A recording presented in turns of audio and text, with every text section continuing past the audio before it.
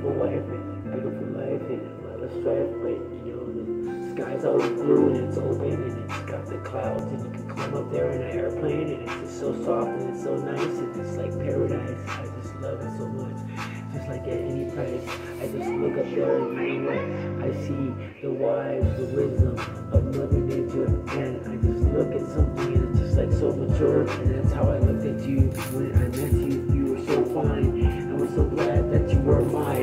I was so glad that you were mine and that I love you so much. And I'm just so glad, baby, because you know what? It was such a hunch, but we just met like that. And you know what? I know I made your pussy wet and your pussy fat, but let's get back to that and your fucking ass. Okay, let's stop hurting like real fast. Okay, I'm back to this point that you're just a beautiful girl and that I want to just continue to rock your world. And I just know, baby, you're going to be mine forever because you're just not only beautiful, you're so clever. I don't want to ever sever our relationship.